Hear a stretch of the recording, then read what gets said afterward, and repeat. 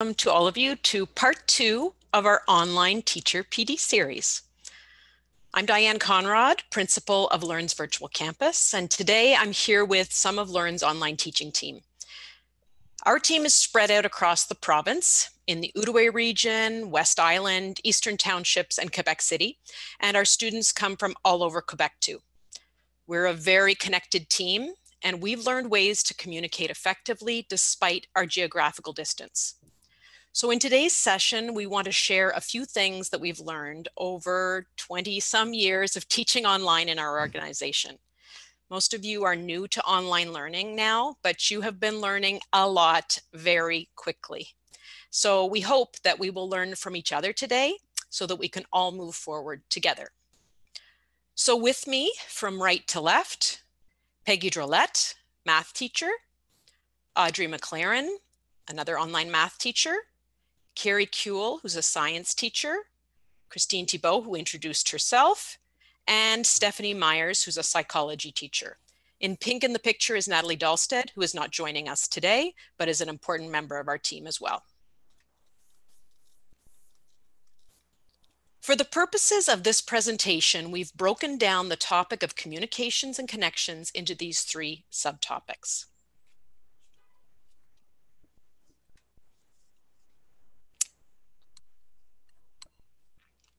And I will pass things over to Audrey to get us started. Thanks, Diane. Hi, everybody. So first of all, uh, who's on the team? Pretty much the same as face-to-face. Um, these three components we're going to talk about, starting with immediate staff. And uh, think of that as the people who you maybe teach the, who are in the same building as you or who used to be in the same building as you, taught the same course, uh, I'm going to be talking to that from a teacher point of view. And of course, there's the admin, and Diane will be talking about team building from the admin point of view, as well as, of course, our parents, a, a crucial part of the team. And uh, Carrie and Peggy will be addressing uh, team building uh, with parents a little bit later in this webinar. Uh, I also want to mention on the team, uh, part of the immediate staff, I would say, is uh, the, the uh, people out there, maybe not in your building, maybe not in your school, maybe not even in your province, um, that are you can think of as part of your immediate staff room as well. It can include people that you've never met, uh, we've all found a great many colleagues and networks of teachers through things like uh, Twitter hashtags groups and Facebook groups. Uh, there are many communities out there that can support you. Um, there are, uh, like I said, there are hashtags that you can follow on Twitter and there are educator groups on Facebook. Some of them are specific to Quebec educators. Some of them are about teaching during COVID-19 uh, a lot of um, platforms like uh, the icon you see at the bottom right, that is Seesaw, they have uh, groups just are, that are specific to that platform for people as well. And uh, we think of these communities as part of our immediate staff as well. Some of those folks uh, are here today. Uh, so next we're going to do a poll. I'll leave that to Diane. I would um, like to mention that we may have to change the view for me to be starting the poll. I can't see it now that uh, we're sharing, so we may have to pop into another view, or if someone else on the team can see polls and launch them, we could see them during practice. But of course, that's the way it goes online. We sometimes have to adapt. Very quickly, though, I will say that the poll was, if no one's able to launch it for us, uh, the poll question was, what are the means that you are currently there? It is, thank you, my rescuer. What means, which means of communication are you currently using with your school team? And you can select as many as you would like, as many as apply. Um, we're just interested to know what kind of communication is happening right now. Okay, emails jumped into the lead, but live meetings is coming up a close second. I'll give you a couple more seconds to finish polling in here. Terrific. So hopefully you're seeing the results live on your screen, emails in the lead. Um, And live meetings, though, a lot of live meetings happening. So some of you are probably getting very familiar with Zoom, just like we are. So uh, thank you for sharing uh, your experience so far. And we've got some others as well coming into the um, chat, Class Dojo. Um, people mentioned Zoom meetings or live meetings. Uh, so a few different experiences. And we'll speak in a little bit as well about um, the importance of using tools um, with your team that you would also use with your students. Audrey? All right, so um, why are we even mentioning the team? Uh, why is it so important online? Isn't it always kind of important? Well, yes, it's just that teaching online can be awfully lonely. It can be lonely between classes when you feel like you're the only teacher in the in the room, because you are. It can even be lonely during your class when you're wondering if anyone's even listening to you and nobody's responding to you. That can be lonely as well. So um, we need our team members now more than ever. We need them uh, for emotional support, or professional support, um, and we need them to face common challenges. Uh, sharing preps and activities will probably become absolutely necessary uh, at the beginning of next year, if not all year. Uh, we uh, overcome this somewhat by using this instant messaging uh, tool called Slack. And I just took a few screenshots just from uh, recently uh, showing uh, little conversations that you know support us all during the day. for simple good mornings, the one on the left there, we this you know substitutes walking through the staff room and saying good morning to everybody but also sharing ideas like carrie shared uh, two different groups reactions to the same uh, tool quizlet and she and stephanie were able to have a chat about that and of course uh, we need a place to react to things that happen outside of our control. We did have a conversation about this, but I will not show that to you at this time. Over to you, Diane. so we've all heard the joke about meetings that could have been emails. Um, but when we get together as a team, we really try to make sure the bulk of our regular meeting time is spent working together and learning from each other, not simply delivering information. I genuinely look forward to our meetings. I hope the rest of the team does too, as an mm-hmm. opportunity to check in with everyone. Connecting with one another is such an important part of our meetings. We have to be a bit more deliberate about this when everyone is at a distance.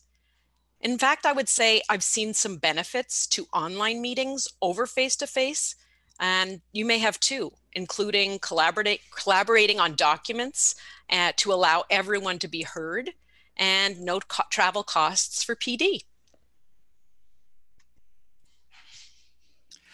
But uh, teams don't just happen. Uh, connections and security don't just happen. It takes time. And uh, fortunately, we have an administration that absolutely prioritizes though. And my wish for you all is that you will have the same. Um, we've used our time together to do things like solve problems. Like, for example, what do we do when uh, we have a kid's uh, without internet or or what do we do uh, when there's a power outage or a system crash that's an actual live photo of of me when that happened once not really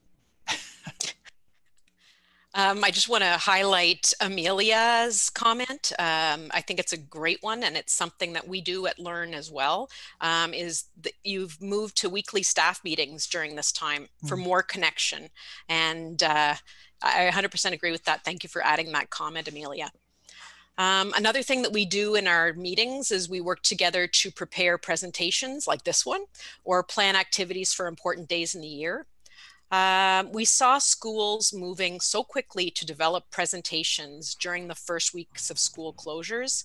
And I just want to congratulate you all on the many amazing videos and messages for students that school teams created together. Ça va bien aller. Another idea I've seen schools try at a distance are school spirit days. So kudos to you all for so many positive initiatives.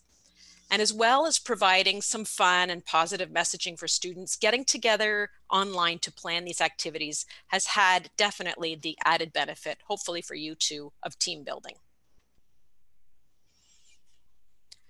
Sharing the responsibility for building resources and learning objects is something that we would highly recommend. And we noticed on our, in module one of this session, that it came, to, came up as a tip from a number of teachers. Uh, team planning can be organized within your school, or if you're in a very small school, even with other teachers in your school board. You all have lots of planning to do, and wherever you can share the load, we strongly encourage that you do so. Another thing we do during our time together is we try out new tools. We've all been teaching online a long time. We've seen all the tools and one that we really fell in love with this year after the shutdown was Classkick. So this is just a screenshot of us playing around with that particular tool. Uh, and you'll hear more about that later. And speaking of tools, uh, moving forward as a school team, we would highly recommend that you use common tools as much as possible. This was another tip shared um, on Monday during module one of our PD series, and we agree that common tools help to keep everyone in the staff speaking the same language, as well as remaining mindful of students and their parents and how they need to adapt to a variety of different platforms. Why common tools? Well, before classes start in the fall, all of the students who take online courses with us get a training session and support documents for the common tools that we use. This reduces the amount of time spent on tech support by teachers. Limiting the number of tools can streamline and help you and students stay organized. Be clear, for example, about the tool to use when students are submitting work, so you're not looking all over for where their work is. Another tool we recommend that you might want to share would be a shared team calendar um, so that even at a distance, you know if someone is teaching or in a meeting.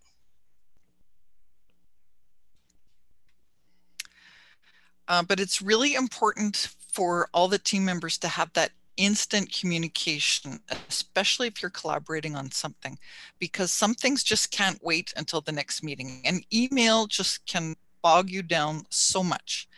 Um, so uh, we need quick, we, ha we have quick access to each other, as I mentioned, through uh, Slack. Um, we can use that to reach either an individual person or you know a whole team, a whole group of people. Uh, but there's a few other free resources that uh, are just like Slack, and uh, there's a link in the educator's toolbox to um, to some other uh, names of. Uh, there's like Microsoft Teams, I think, that has something like that. Uh, Rocket Chat is another one. This actual webinar, we spent a lot of time on Slack collaborating on, as well as, of course, meeting in Zoom.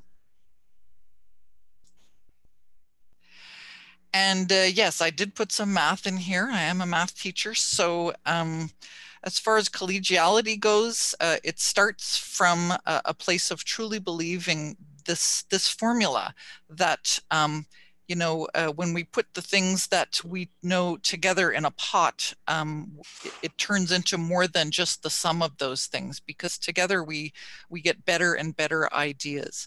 It's true in any team, of course, but it's an absolute lifesaver for online teachers. This culture of mistakes are welcome is one that we become quite accustomed to. Uh, and that might be quite a big adjustment for everybody. Balancing between your comfort level and pushing the boundaries. I'll give you an example. We were extremely comfortable with uh, flipping our classroom. That's something you'll hear about later it's a practice that we we all uh, started a couple of years back for our synchronous classes uh, but then it became necessary for us to push that in order to accommodate some students who couldn't attend our live classes. We call those our self-paced students. And that took a good solid year if not more of trying and debating and brainstorming and uh, ultimately, it led to many improvements for us and all of our students, but only because of this magic ingredient of being able to share easily and instantly and, and you know, listening to each other as well. Um, our students benefit from that culture too, both directly and indirectly. I just want to highlight a couple of great comments that I saw coming through in the chat when you were speaking that kind of hit on a few of your points, Audrey. Um, and uh, one was um, from Leslie Jill Davy. I'm blessed to have a teacher who joins my Zoom meeting with the students and then we discuss the way it went after the students have left the meeting. Mm. Great practice. I love that. Um, so thank you for sharing. Uh, because let's face it, we're living in a new reality and adapting quickly to a huge challenge. This challenge will be easier to address by connecting with each other to make the important decisions for your school team. Clear and regular staff communications help everyone understand the big picture and your part in it and will help build staff readiness for whatever lies ahead. And we're hearing that change sometimes day to day. We recognize that you're all in the thick of it right now and uh, you're adjusting as quickly as you can. Um, and I've heard so many stories from teachers about the incredible ways in which you're meeting students' needs. So hopefully working together online with your school teams has made some of those challenges easier to face. We now have a, a question for you all. Um, and I'm going to ask if uh, our participants could type your answer to this question in the chat. I'll just uh, read it out. Uh, in the poll question earlier, you let us know how you've been communicating with your team during school closures. Now tell us what has worked best. So while you are answering in the chat, I will invite Carolyn Coe, who is one of our Learn tutors from St. Mary's Elementary in Longueuil, to open your mic, Carolyn, and turn on your camera so that you can answer this question as well. Uh, thanks, Audrey. Um, so when pandemic started, it was so difficult to keep track of emails, right? Uh, emails from teachers and admin and the school board and the union and parents. And so eventually it was very hard to find items and items were getting lost. And uh, so our school team decided we were going to migrate to Microsoft Teams um, for all our staff, our daycare staff, our technicians, um, teachers especially, um, with different tabs, different channels on the side. Uh, this allowed for more fluid communication amongst amongst different teams. So let's say if you were in, in cycle two and you dealt with cycle two uh, staff, well, you'd have you'd have a channel to yourself, but everybody would uh, have access to all the channels um, in the in the teams. It was very helpful this uh, these different channels while we were adjusting the government kits um, to fit the needs of our students, uh, but at the same time ensuring that our whole school was on the same page and, and covering the material. Um, we are a large staff. We're over 65 uh, people in our staff. And so our staff meetings were held uh, via Zoom. Uh, it was very effective for large group communication, uh, just the ease of using it, uh, the sharing the screens and seeing people's faces. So that allowed us to be a little bit more connected, even virtually. Um, I think what also was very good about the Microsoft Teams and the Zoom is that uh, even our staff that's not super tech friendly uh, you know, with small group trainings, uh, we've been able to reach everyone and get everybody online.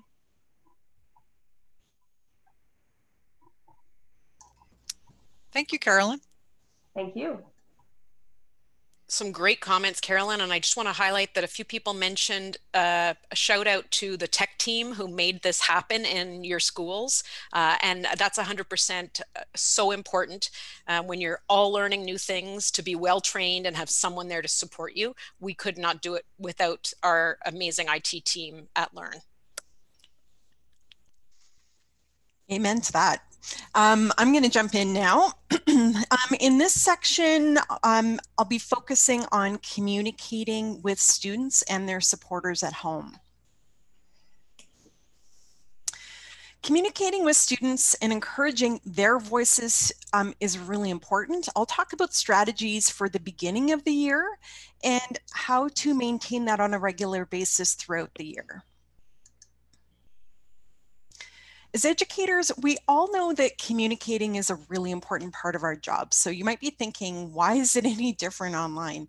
Well, without the visual cues, we don't get the same kind of immediate feedback from students. It's even more important that we be clear and concise with our instructions. Take your time to plan accordingly and to review all communications to make sure that your messages are getting across. Remember that not every student will prefer to communicate in the same way. Some really like to participate in big group discussions. They'll engage with the class as a whole. Some students, especially those who are shy, may just prefer to private message the teacher directly. Um, some will be okay with understanding oral instructions. Some need to see it written down. So you need to be flexible. You need to use uh, a variety of ways to communicate. Sharing plans with students um, in a consistent way also helps them to stay on track. And these are things, these tools are things that we can share with parents as well if they need to help support students at home, especially with younger learners. More on that later. Uh, establishing a connection with students and setting the tone early on is really important. Not only at the beginning of the year, not only are they getting used to new teachers, new routines, new tools, but they're also learning subject matter too. And that's all, that's a lot of new. um, it can make them kind of anxious and it's really important that we reassure students that they're not alone when we're, when we're, they're at a distance. Um, I use a tool called VoiceThread, that's what you see here on the board, um, to introduce myself using video and audio at the beginning of the year, but you could use a simple letter instead. I have done that as well. Um, we often ask parents for an email response or or even a Google form response to encourage some early contact with them. Um, we may ask questions like, what would you like me to know about your child's learning?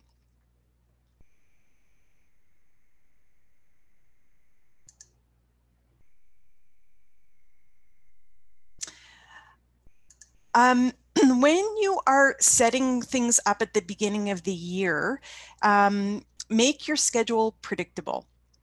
Whether you're meeting once a week or every day, set a schedule and stick to it. It's especially important if students will be meeting with other teachers or, or if they'll be at school part of the time and at home part of the time. We, we still don't really know what that's going to look like for the fall.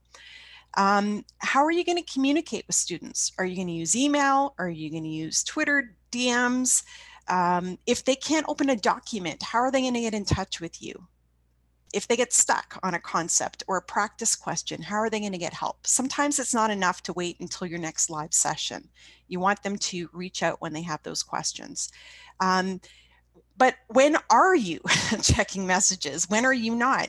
Um, Work-life balance is really important. I'm seeing a comment about that in the chat right now. Um, setting a schedule is really tough, um, but we do need to send, set boundaries so that we can manage um, manage things for ourselves and not get burned out. You can see on the board here that um, that I tell students that I can be um, reached by email or Twitter, and that I'm the most responsive between the hours of 8 a.m. and 6 p.m., Monday to Thursday. Those are times when they know they'll get a pretty quick response.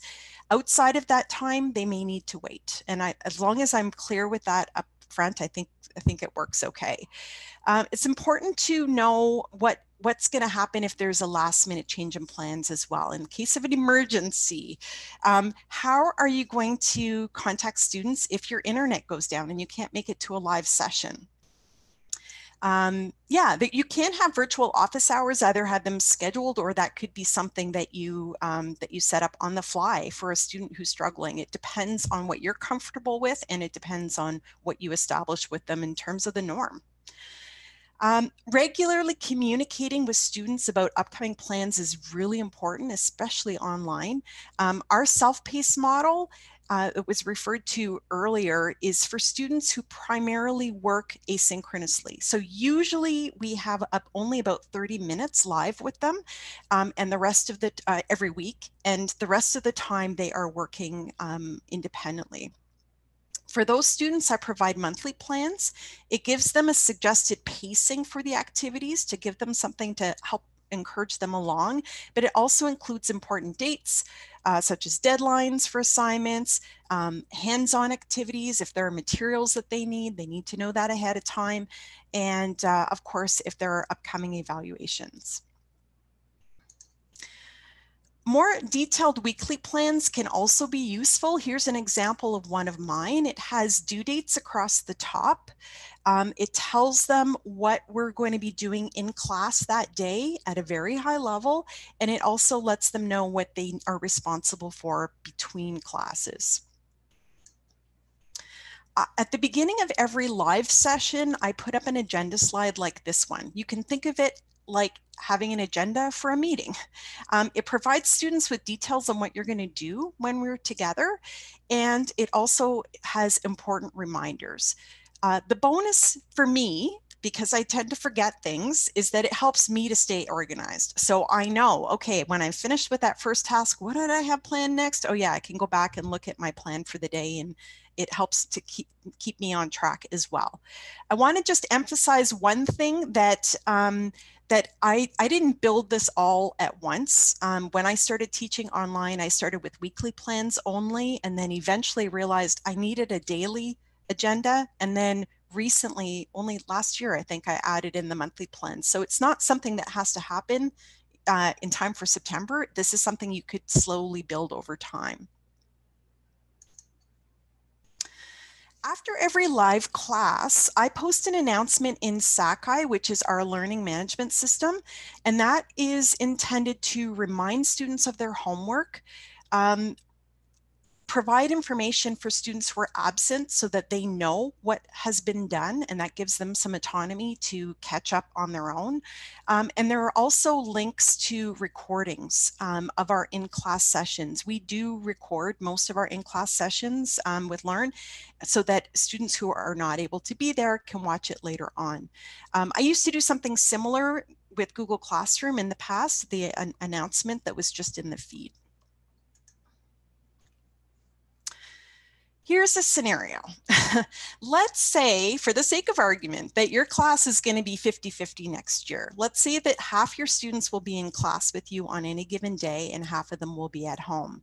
How are you going to communicate with those students at home or check in with them in a really efficient way so that you know what they've covered and what questions they have for when they come back to class and you're with them face to face again. So this is a strategy that we have been using for our self-paced uh, students that could be adapted for the 50-50 scenario. You can see here this, this is a checklist for my chemistry students. Um, it's telling them what tasks they need to do for this particular lesson.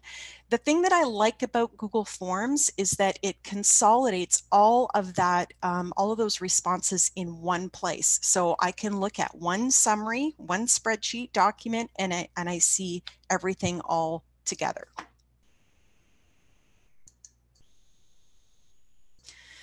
So I, I want to touch a little bit on a couple of tools that I think are especially good for communication. Um, this is one that that we use quite a bit in our live sessions. It's called Desmos Activity Builder. Um, I use it quite often to create virtual worksheets. It, it allows me to see everyone's work and collects it in one place, which is a bonus. Um, we'll talk more about this in next week's webinar, um, but Desmos has some pre-built screens like this one that make it really easy to do quick check-ins with students. This one has a slider that, that, but there are others that allow students to draw like the one on the next slide. Uh, this is a response from a student. Um, uh, this was a bright moment in his week uh, where it was warm outside and he sat on the deck with his dogs. Um, so using tools like this help you to keep the lines of communication open and gives students options in terms of how they communicate with you.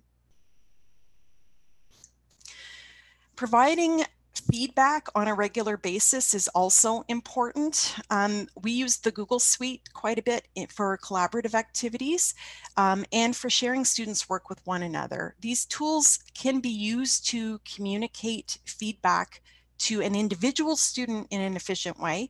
Um, and this is an activity that I set up for my chemistry students. Um, I have a, a slide deck that has a unique question for every student.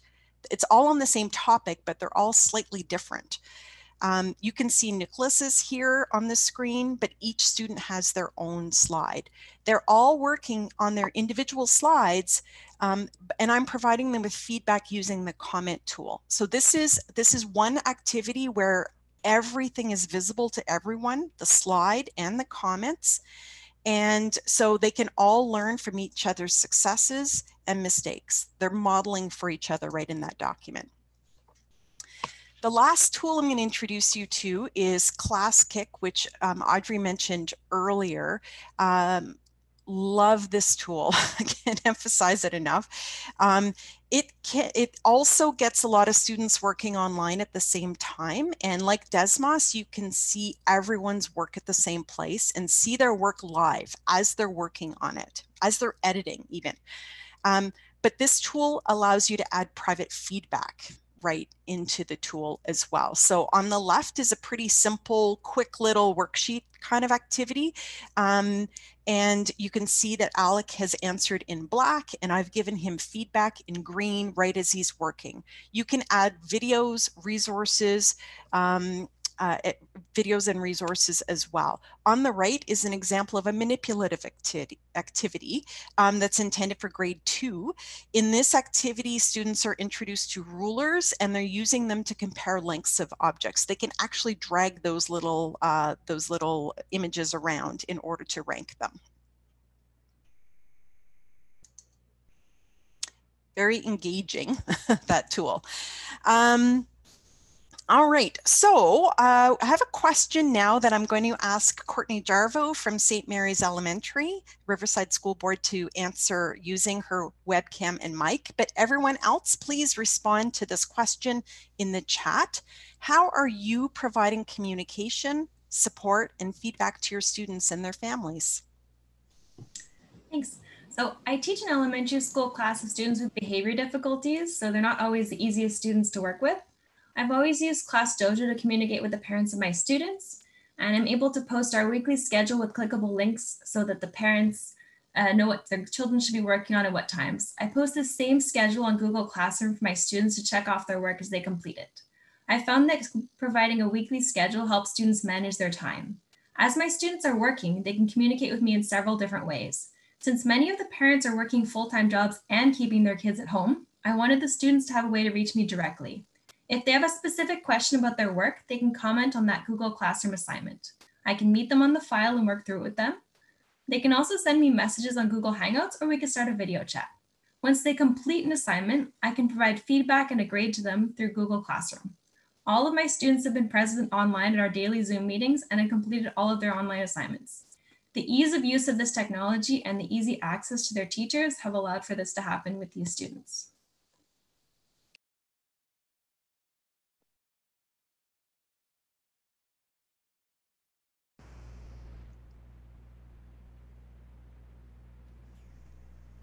Okay. Thanks, Courtney. Thank you, Courtney. Oh, sorry, Diane. I just wanted, I just, there was some really great ideas in the uh, chat and I just wanted to pull one out if that's okay. Um, from a secondary teacher who uses Instagram to communicate with his students. Certainly um, an app, uh, you know, a, some social media where students are as at, as teens. So he's connecting with them where they are. So that's from Jeremy Wout, a great idea. Thanks, Jeremy.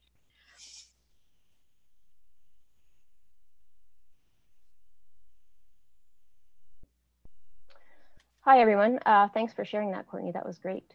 Um, so we are going to shift gears into our final uh, session, part of our session today, which is humanizing the online interaction. Um, so we'll look at three elements. Uh, we'll look at, uh, if we go to the next slide, we're going to focus on um, how do you humanize yourself in an online environment? How do you um, humanize that teacher student relationship when they're in somewhere and you are in another location? And also how do you humanize and build the connection between individual students when they too are geographically separated? So this is what we're going to focus on in this uh, this part of our session So how do we do it? How do we set the stage? We've all done it in our face-to-face classrooms, but what do we do when it's um, at a distance? Uh, this year, we at least knew our students before we got separated from them. So what do we do to set the stage uh, should we not be face-to-face uh, in the fall? Um, things are changing, we really don't know. So um, when we think about humanizing ourselves, it's really important in an online environment to uh, let the student know who we are So what do we like? What do we care about? What matters to us? Where are our interests? And that becomes more and more important um, because we want to early on establish that connection, that relationship, and we want them to trust us early or they won't come back. Um, also, we want to model for them how to communicate, and Carrie got into that a little bit, but just making it clear how to uh, communicate appropriately in an online environment is also something that we set the stage for early on uh, to humanize that experience.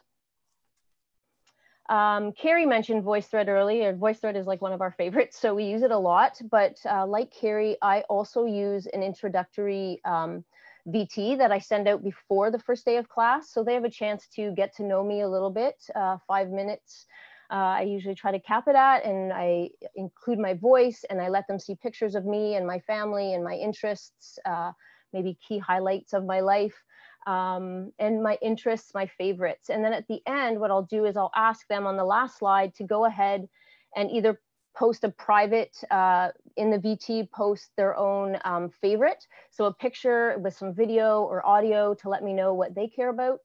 Um, and um, the other option that I give them is also a tool called an app called Fotobabble. I don't know if people know it, but very simple tool. You can uh, you can do it from an iPhone, um, add some audio to uh, a photo and then share that link. Um, and so I have them do that as well. And I love that one. And really it's about, it's, it's about creating that connection. They need the visual, they need the auditory. Um, so those two things are, are two of the things that I do. Uh, and Peggy, you have your own thing that you do as well. And maybe you could share that. Yeah, thank you. Thank you, Steph. Um, yeah, so during Monday's presentation, I know that some teachers expressed that they had concerns about how to connect uh, online with their new students. I know that everyone here is extremely innovative, and I know that you will create that personal touch that reflects your reality. But this is my reality. This is how I start the year because I know that my students wonder well, who is this know it all teacher from Quebec City who is trying to teach me math? Am I smart enough to be in this class? Or maybe uh, they are just overwhelmed. They think that they're going to be overwhelmed with the technology. So I like to create uh, a letter that I send to the students at the beginning of the year. This creates an environment where students feel that they can thrive. I want them to feel they're in the right place. I want them to know they matter. I know a lot of teachers send letters, but as I said, this is our reality. So before class begins in August, I send an old fashioned paper letter to all my students. I sign it and I send it snail mail, not an email. I introduce myself and I write that I look forward to collaborating and to learning with them. I, I look forward to working with an awesome group of students.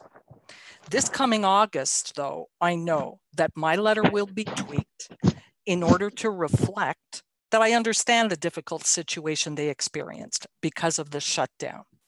My goal is to set the stage to reassure them that they will be in the right place and I will be with them throughout the year.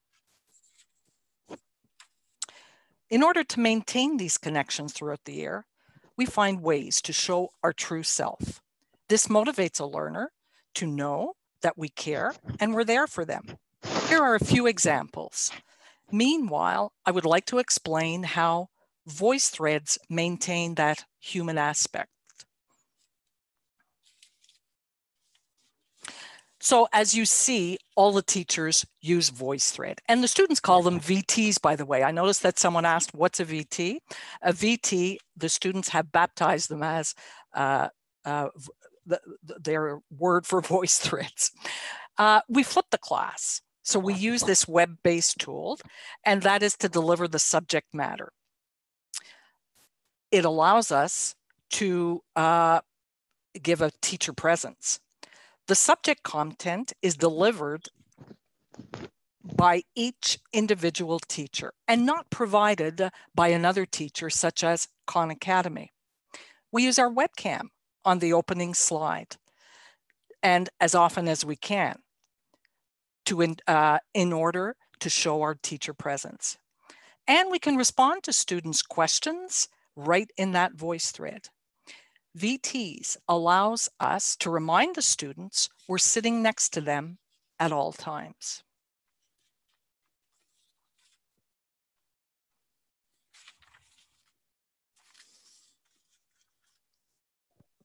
And I think you can begin by referring to myself. that. Um, yeah. yeah, so it helps to unmute yourself. Um, so uh, thank you for that. But uh, we use VTs a lot because, and it actually lends itself to this, um, to our next section here, which is really humanizing that teacher-student relationship. And it's, you know, it's something that is is challenging to do when you're at a distance, and especially when, I mean, we're all online teachers, so we've we've done it for a long time, and it can feel really challenging. Um, you know, but we want to think about why it is that we're doing it. Um, what it is, what is it that we want to do? Um, we want them to know where they can find us and, and Carrie got into this communication piece, but we want them to know how to communicate with us, where they can communicate with us. Um, but we also want to use those tools that we'll use for communication to create those connections. So before we start getting into the learning with them, we want them to familiarize themselves with the tool, but in a way that is uh, meaningful and creates relationship. Uh, so we'll take a look at uh, on the next slide of a few examples of some of the things that I do. So I saw a lot of people mention that they use Teams. Um, so one of the things that I do um, with my students is within the first two days is I have a channel set up for one-on-one -on -one office hours. So using a Google Doc, I will have them sign up for a five minute slot. It's almost like speed dating with your students. Um, but we, we get together one-on-one. -on -one. They can share any concerns, any, uh, anything they want to ask me, any, any questions or thoughts or feelings they have, any of their interests. So we have that five minutes and it is, it does take time, but it's super important. Um, and it, it's just time that you you can't get back later. So it's it's a good investment early on to take that time to meet with each student one-on-one. Um, and it's something that in a face-to-face class we may not do, but it is something that we can do in an online environment, which is great. Um, the middle one, I'm sure elementary teachers probably know this one, but I, I've used it with my CEGEP students as well. It's, um, it's the me collage. It's where you give them 20, uh, you, you, give them a, a, cap, 20 or 30 things that demonstrate uh, their interest that, you know, it's like a visual representation of them on paper. And I make them do it on paper. Um, some of them say I don't have paper. Well, you know, use pencils, use whatever you've got, but there's just something tactile about creating something um, and having a tangible thing, they can then take a picture of it and, uh, and share it with me. If they really don't have pen and paper at home, which may be the case, crayons, whatever, they can always do a digital collage. It's very easy to find. Uh, there's tons of apps out there, or even just cutting and pasting pictures um, into a, um, a Google Doc will work. Um, so that's something that I use a lot and I really love it and the students love it. And it's the, it's the tangibility of it that I feel is so important in an online space that they can put it up and be proud of it and be proud of themselves as they work online at a distance. Um, and then the third one here is a, is a YouTube playlist. So what I do on the, my very first day of class um, is, and I know it, it's sort of dependent on your age group. Um, I teach uh, primarily high school and CEGEP, like I said. Um, so what I'll do on the first day as they're all trickling into class is I'll ask them to post in the chat their summer song. So it's, again, it's a chance for them to try to use the tool. It's something fun, it's engaging. Everybody has a song, hopefully, um, that they like. And uh, once they've shared those with me at the end of the first class, I go in and I create a, a private playlist that I then share the link to. And it, it just uh, it just shows them that you care and it's something fun and they listen to it over and over again. And, and then later on as an English teacher, I'll use some of the lyrics to, to teach literary devices. Um, but those are just some examples that I do. And again, it's really, it's about you know, showing yourself to them um, and letting them show themselves to you. So those are my examples. Um, and uh, great examples, Stephanie. Yeah. Um, student, students need that social presence from the moment they enter the class until they exit. Uh, when I taught in a face-to-face -face school, I stood at the door and I greeted each student as they walked in. Well, the same happens in an online class. Uh, I greet each student by name at the beginning of class, and I find a meaning, meaningful way to say goodbye to each student individually. We have several strategies to maintain that student-teacher connection, but I would like to highlight direct messaging and personalized work schedules. that the students really like. Um, direct messaging is powerful and a lot of you use Zoom and I know you probably see how powerful it is, but VTs and Twitter have that capability as well. And to maintain that teacher student relationship, responding to a student's concerns is time well spent. VTs and Twitter are, to, uh, are tools that I use asynchronously. In a VT, when I prompt the student to answer a question, they can message me privately if they wish to do so, or they can share with the class what their answers are. And I have that capability as well to answer privately to them or to answer to the group. Twitter. I use Twitter tremendously. I like to think Twitter is the open door to my classroom. It's a place where students can feel safe to express their concerns. It's a place where they can ask me for feedback on a problem that they are having issues with. What I've noticed is if I interact with them on a regular basis, they will interact with me. Another example of maintaining that teacher-student connection is by providing what I call a personalized work schedule. I create a Google Doc for each student and I remind them I'm here. Students select the questions that they would like to work on. There's a minimum requirement of questions to do though. And students love that element of choice and they feel that they can customize their work. I do require that they make their thinking visible and providing feedback in a timely fashion helps them feel that I'm always sitting next to them. I know teachers have expressed that they have concerns about corrections being time consuming, but copy and paste is a huge uh, savior for me. If the answer is incorrect, I have prepared uh, short uh, video recordings that uh, explains the steps to solving that problem. Students have expressed to me that these videos help them tremendously.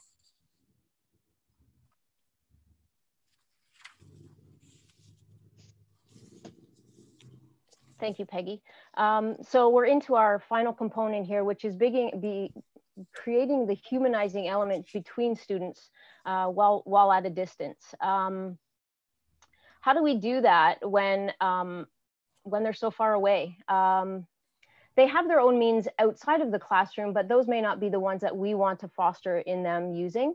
Uh, the reason that we spend this time early on setting the stage with the students to, to connect with each other is one is to build the self-efficacy that they see their value within the group, that they're willing to take the risks and engage with the other students in a community of learners. But it also is that chance to create that social co cohesion. We want them to feel engaged early and we want them to keep coming back. If they don't feel connected, um, it's harder to do in a face-to-face class. You have to be there. Well, some of us, if we work with at-risk youth, we know that if they don't feel connected, they don't come. Um, it, a lot of students in, in the online, we have to really in, in, encourage them to engage with us and to stay engaged throughout the year. Uh, Peggy, you had a really good idea for how you set the stage in a tool that you use, correct? Uh, yeah, Flipgrid. And I know a lot of teachers use Flipgrid. Uh, as we said at the beginning, our uh, students come from the four corners of the province. It's crucial to uh, attend to the, their critical um, need for that engagement. Uh, and uh, it's important to foster that community uh, building.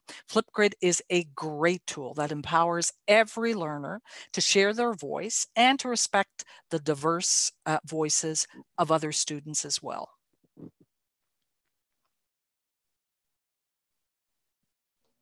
So I've had many, many, many teachers um, speak to me in the last couple months about this concern. And it's a real concern, again, like I said, about maintaining that engagement with the students um, in the learning process and not, you know, for me, I saw a lot of people working in teams, uh, not just seeing the initials uh, on the screen and them completely being devoid of engagement. And we don't want that. Um, you know learn well in all in all our practices and i'm sure you all are doing this as well you know you're looking for ways to um, engage the students, to get them in project-based activities, uh, to do collaboration on maybe Google Docs or slides. Um, you want them to have the opportunity to discuss things, to collaborate on things, to create things. Um, and doing that rather than focusing on individual assignments can really help um, to foster uh, to foster that connectivity that it will sustain over time. Um, and on the on the slide here, you can see just some of the asynchronous and synchronous tools that we use um, to build that online connectedness. Um, Peggy, you had something as well, no? Yeah, I just want to talk just a little bit about the themes that we have for each term. Uh, term one is um, uh, providing opportunities for the students to learn about the online tools. Term two is the big one that I want to talk about right now, and that is building community with my online classmates. And we have a lot of activities uh, that foster that um, uh, uh, that discussion among students. Uh, and that enhances the sense of their community. These discussions don't always have to be about the subject matter. As a matter of fact, a lot of the discussions are surrounded about things like what does success mean to me or what helps me manage my stress, something that the students are um, quite concerned about. We have several tools, such as forums, that allow these discussions, but sometimes expressing their feelings to me only allows them to speak their mind. I saw a lot of teachers uh, use Seesaw. We use Seesaw as well. Uh, and our students reflect in Seesaw, but that conversation is between me and uh, the student only. And what I realized is that when I read these reflections, there are many things that the other students could benefit from. So I realized that I should share these comments and I share them anonymously.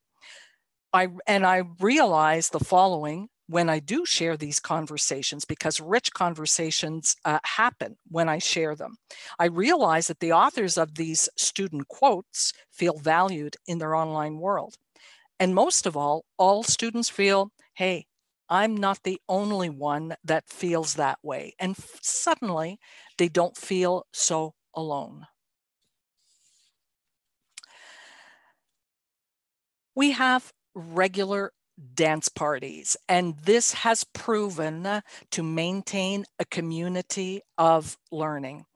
I know you all feel the same way we do. We all need to have a bit of fun. We all need to be silly sometimes, especially when they're silly looking at me dancing. Uh, we all need celebrations, and we definitely all need to move and to get out of our chair.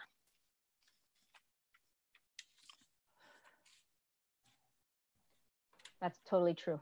Um, I'm at a standing desk right now, so I'm I'm out of my chair. I'm ready to mm-hmm. go. If you want to pull a song there, um, we've actually come pretty close to full circle. Um, uh, all of us really at Learn. I mean, we love learning. We're teachers. We've all been teachers for 20 plus years. We're passionate about what we do, and we just want all of you to know that this is not. You're not alone. We're in this together. This is a team effort. It takes a village um, you know, we are just one piece of this very large puzzle as we move forward. Um, and keep that in mind with your teams uh, that you have within your schools or your, uh, your learning communities that you have already established. Use those people um, and incorporate those people. Um, this, this slide is just an example of one of the things that we've done in the last two months at Learn, which was we had a slow chat which involved uh, a slow Twitter, Twitter chat that happened over several days. We, we posted a new question each day, a, a teacher, or, or, in this case, Christine, our lovely Christine. Um, all of us created a question and it was posted and the students and the admin and Learn staff and really the entire world um, were able to to share and connect and it just built this really amazing place for the students and for us uh, to go beyond uh, our virtual walls at Learn. So, and, and the things that the students posted were really, um, uh, some pictures were breathtaking and inspiring and it, it's, it's just really moving. So please don't forget, I know it can feel like you're alone, but, but we're not. Um, just reach out to people um, and, and we'll help each other, you know? Um, so as we come to the end of our, our hour here. Uh, we're getting very close. We wanted to pose a question to the chat uh, to all of you, which is what is one thing that you will try to implement next year to humanize the online learning experience should you continue to be virtual? So please share with us any ideas you have and we, we want to hear them. Flipgrid, yeah. It's true. It's one thing when we say the, the hellos, but the goodbyes are important too.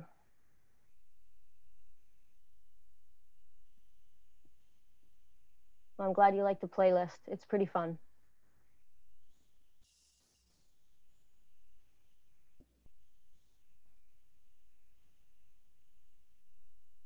Thanks for sharing, guys. I saw some new things. I need the transcript of this chat. Yeah, and Lauren, I want to be invited to your uh, dance party. Just saying.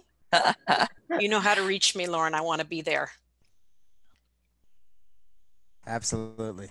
Great. Well, this has been great. And I know a lot of you have mentioned there were, there's a lot covered. We really touched on a lot of things. Um, but please, if you didn't get that link, it will be sent to you. Check out educatorstoolbox.learnquebec.ca. Uh, over the coming days, the recordings for all those sessions will be um, populated in that site. Um, complimentary resources. You've asked for some things in the chat. We've seen them. We're keeping an archive of this chat so we can go back and make sure we're answering your questions and addressing the, your needs that you've identified. So thank you for spending the time doing that. We really appreciate your communication and your connection in the chat. Uh, it's really, it really uh, brought some richness yes, we do hear, hear those elementary teachers, absolutely. Um, we'll try to respond as quickly as possible as we can. And I want to thank you so much for joining us today. It was a real pleasure. We'll see you next time. Uh, if you registered, if you were a lucky person who got to register, our next session will be on Monday, as I look at my calendar, Monday, June 22nd. And uh, some of you will see you then. The rest of you will look forward to uh, you engaging with the Educators Toolbox website. Thank you. Bye. Thank you.